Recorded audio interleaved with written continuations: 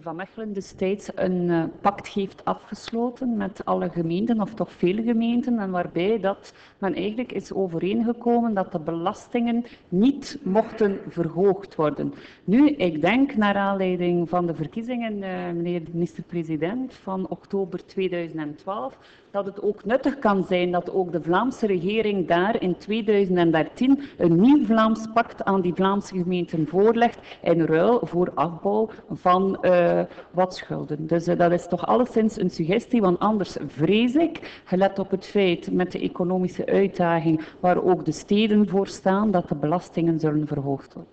Minister-president.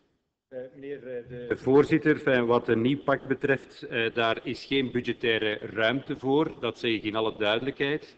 Maar ik ga er wel vanuit dat diegenen die hier zijn tussengekomen een belangrijke rol mogelijk zullen spelen in de gemeenteraadsverkiezingen.